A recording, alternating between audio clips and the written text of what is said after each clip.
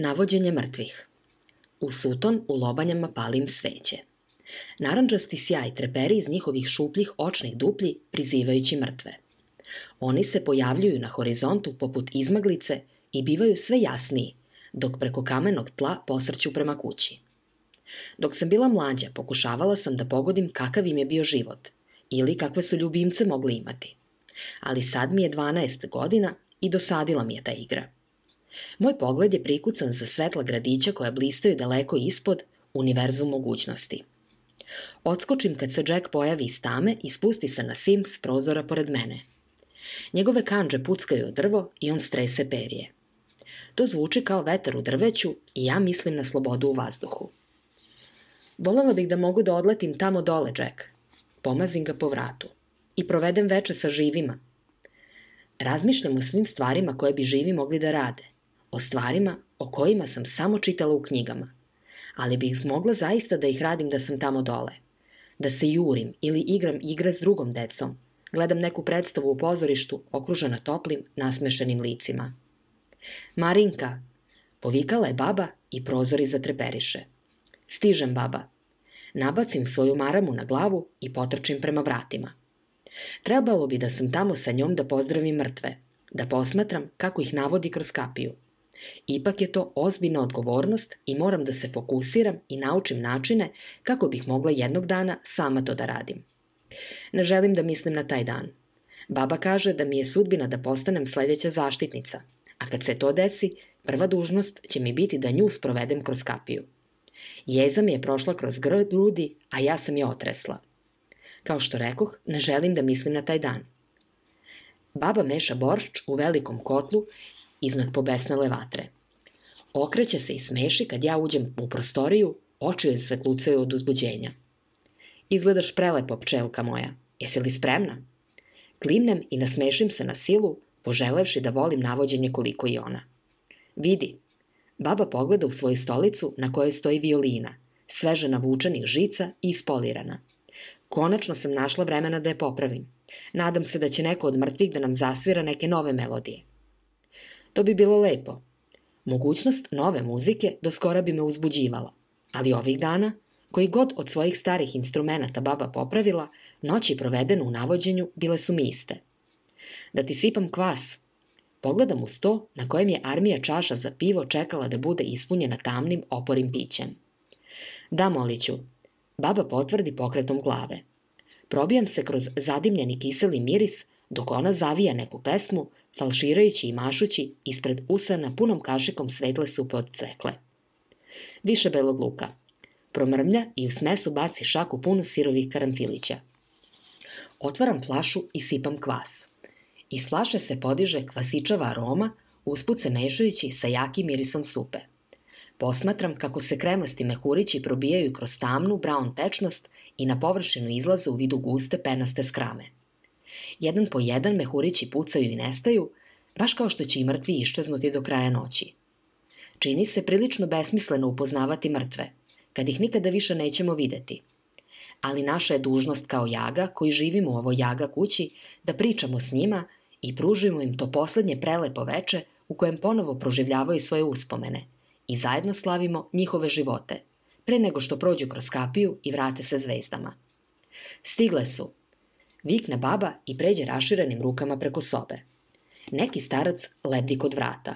Slab je i tanak, što je siguran znak da je ovo očekivao već neko vreme. Neće mu trebati mnogo da prođe kroz kapiju. Baba nežno razgovara s njim na jeziku mrtvih dok ja nameštam sto. Posude i kašike, gusti crni hleb, korpa mi rođije, ćase s pavlakom i renom, knedle od pečuraka, niz malenih čaša i velika flaša trosta, žestokog pića za mrtve. Baba kaže da je naziv trost dobilo po štapu za hodanje, jer pomaže mrtvima na njihovom putovanju. Pokušavam da ih slušam, pokušavam da se usredsredim i razumem šta pričaju, ali jezik mrtvih mi je nerazumljiv. Uvek sam smatrala da je teži od jezika živih, koji lako pokupim, kao školjke na plaži. Misli mi lutaju ka gradiću. Tome kako krivuda oko užeg kraja jezera – Viđala sam žive kako ujutru odlaze ribarskim brodićima po dvoje ili troje. Pitam se kako bi izgledalo veslati s prijateljima. Mogli bismo svi zajedno da odemo do ostrvca na sredini jezera i da ga istražimo. Možda da zapalimo vatru i kampujemo pod zvezdama. Baba me blago gurne dok pomaže starcu da sedne na stolicu. Da li bi donela posudu borča za naše gosta, molim te? Još mrtvih pohrali unutra. Sanjarenja ostaju na ivici moje svesti, dok služim, nameštam stolice i donosim jastuke i pokušavam da umirim mrtve osmesima i naklonima dobrodošlice. Uskoro se opuštaju, zagrani hranom, pićem i pucketanjem plamena u ognjištu. Kuća im daje energiju i oni postaju sve postojaniji, sve dok skoro ne zaliče na žive. Skoro. Smeh odzvanja oko krovnih greda i kuća žamori od zadovoljstva dok se mrtvi prisećaju svog ponosa i veselja i uzdišu na svojim tugama i kajanjima. Ova kuća živi za mrtve, kao i baba. Ona ide od gosta do gosta, njeno iskrivljeno staro telo sada treperi poput kolibrija. U nekoliko navrata živi su dolutali blizu kuće. Čula sam njihova šaputanja. Čula sam ih kako kažu da je baba ružna, odvratna veštica ili čudovište. Čula sam ih kako kažu da jede ljude, ali oni je nikada nisu videli ovakvu. Prelepa je. Pleše među mrtvima, donosi utehu i veselje. Obožavam njen široki osmeh kvarnih zuba, njen velik bradavičast nos i njenu istanjenu sedu kosu koja leti ispod marame za glavu s motivima lobanja i cveća. Obožavam njen opušteni debeli stomak i njene povijene stubaste noge. Obožavam njenu sposobnost da učini da se svi opuste. Mrtvi ovamo dolaze izgubljeni i zbunjeni, ali odlaze smireni i pomireni spremni za svoje putovanje. Baba je savršena zaštitnica. Daleko bolja nego što ću ja ikada biti. Ali, s druge strane, ja ni ne želim da budem zaštitnica. Biti zaštitnica znati će biti odgovorna za kapiju i za navođenje mrtvih, zauvek. I dok navođenje babu čini srećnom, gledanje mrtvih kako iščezavaju svake noći, mene čini još usamljenijom kad bih samo bila predodređena za nešto drugo. Nešto što se tiče živih ljudi. Kuća se promeškolji, nameštajući se u noći i širom otvori svoje svetlarnike. Zvezde nad nama zatrepere, ispuštajući kišu malenih iskri svetlosti. Trosta, dovikne baba i zubima izvuče plutani čep iz flaše. Slatki začinjeni miris pića ispuni vazduh i vatra jače za svetli. Kapije se pojavi u uglu sobe, blizu ognjišta – Kapija je veliki crni pravougonik, crni od tame na dnu groba. Privlači ti pogled, kao što crne rupe privlače svetlost. I što duže u nju gledaš, jače te uvlači u sebe. Krenem prema njoj s rukama u džepu od kecelje, izbegavajući izjapljenje gledanjem u pod. Daske na podu kao da teku u taj ponor i nestaju u crnilu. Krajičkom oka vidim nestajuće proplamsaje svetla i boje duboko u toj praznini širina duge, svetlucanje maglina, talasanje olujnih oblaka i beskrajni luk mlečnog puta.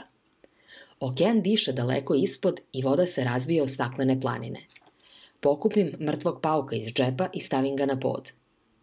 Paukova duša izvuče se iz leša i zbunjeno pogleda po sobi. Životinjama ne treba navođenje. Baba kaže da one razumeju veliki ciklus bolje od ljudi, pa se pauk verovatno pita zašto je u kući jaga – Ja svejedno mrmljam reči putovanja mrtvih, zaboravljajući pola i pogrešno izgovarajući ostale. Nešto u vezi sa snagom na tom dugom i mukotrpnom putu, zahvalnost za vreme provedeno na zemlji i mir pri povratku među zvezde. Mrtvi pauk trza glavom i deluje još zbunjenije. Uzdahnem i odgurnem ga u kapiju, milioniti put se pitajući da li su sudbine zapečaćene. Da li stvarno moram da postanem zaštitnica i provedem život u opraštanjima, kad u stvari žudim da ostvarim prijateljstva koja traju duže od jedne noći.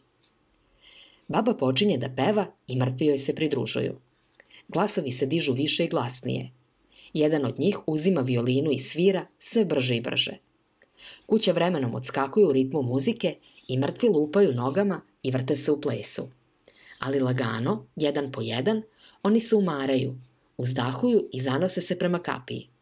Baba šapuće na uvo reči putovanja smrti, ljubi ih u obraze i oni bi potonuli u tamu, smešeći se dok nestaju. Kada prvo svetlo svitanja osvetli zvezde iznad njih, ostaje samo jedna. Devojčica, umotana u jedan od babinih crno-crvenih šalova, zuri u vatru. Mladima je uvek najteže da prođu kroz kapiju.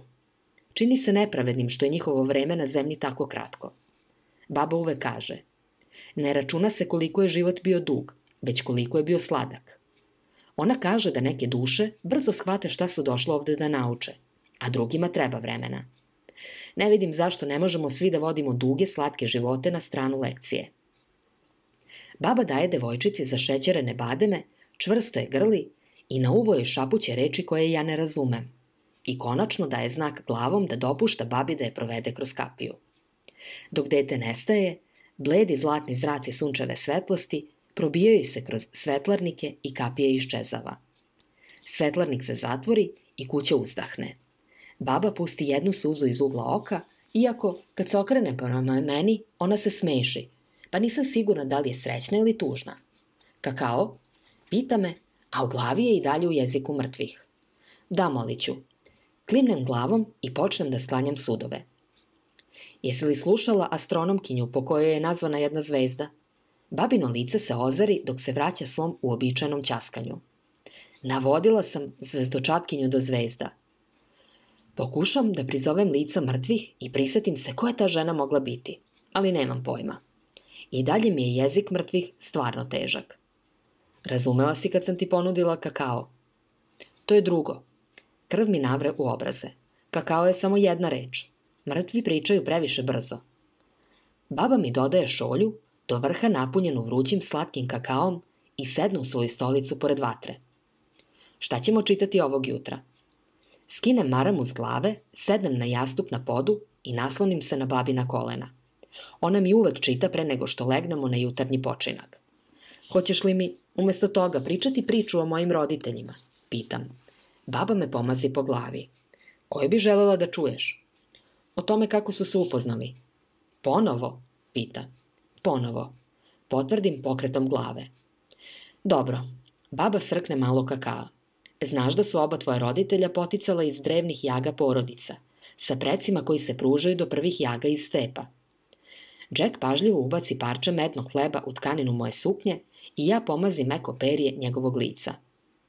Kuća tvoje majke je galopirala sa velikih planina na istoku, a kuća tvog oca sa šiljatih planina na zapadu.